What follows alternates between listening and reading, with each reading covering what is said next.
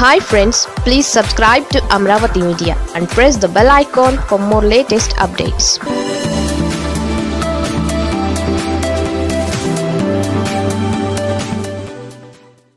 Devineni Uma జైల్లోనే shock ఇచ్చిన high court.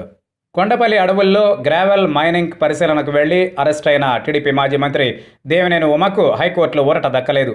తనపై నమోదైన హత్యాయత్నం ఎస్సీ ఎస్టీ అట్రాసిటీస్ సహా పలు కేసుల్లో బెయిల్ కోరుతూ ఉమా దాఖలు చేసుకున్న పిటిషన్పై విచారణ వాయిదా పడింది.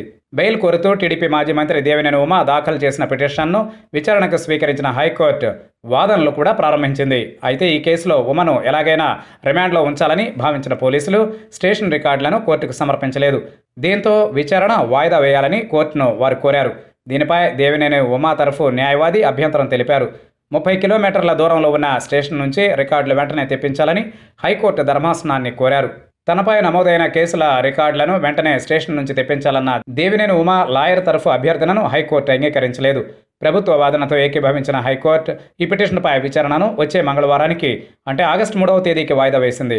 హైకోర్టుకు వారాంతపు సెలవులు ఉండడం సోమవారం అప్పటికే విచారణకు స్వీకరించిన పిటిషన్లు ఉండడంతో మంగళవారం దేవినేని ఉమా బెయిల్పై హైకోర్టు విచారణ జరపనుంది. అప్పటి వరకు దేవినేని ఉమకు జైల్లోనే ఉండక తప్పదు.